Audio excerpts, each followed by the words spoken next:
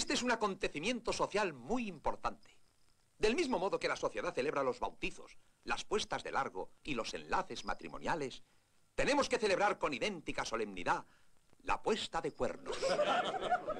Os presento al galán que me ha hecho entrar con todos los honores en la insigne cofradía de los cornudos, por lo cual siempre le estaré agradecido, pues con ello ha dado un nuevo giro a mi vida. Ha roto la monotonía de mis relaciones conyugales y me ha descubierto que estoy casado con un ser humano, con un ser vivo que siente, que ama y que sufre como todo el mundo.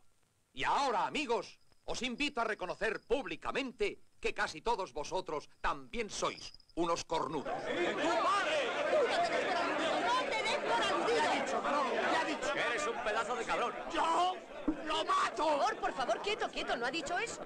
No, no ha ¡Incapacitación! ¡Incapacitación! ¡Nos insulta el muy desgraciado! ¡Qué cabrón que todos son de su condición! ¡Callaros, coño! ¡Que no se le oye! Vamos, vamos, señores, ánimo, que no es para tanto. No hay que sentirse ofendidos ni tomar esto como un insulto.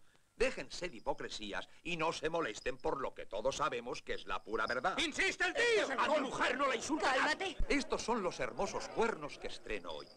Pero antes ya tenía otros, aunque se vieran menos. Queridos amigos, no tenemos cuernos todos desde que de mocitos empezamos a ir de putas. ¿Cómo nos llaman esas chicas? Esas compañeras momentáneas tan simpáticas, tan cariñosas, tan entrañables. ¿Cómo nos llaman ellas? ¿Y sus chachas? ¿Y sus chulos? ¿Cómo nos llaman, eh? ¿Cómo nos llaman? Cabritos. Nos llaman cabritos. Eso es, queridos amigos, cabritos. Nos llaman cabritos. Y nos lo llaman porque lo son.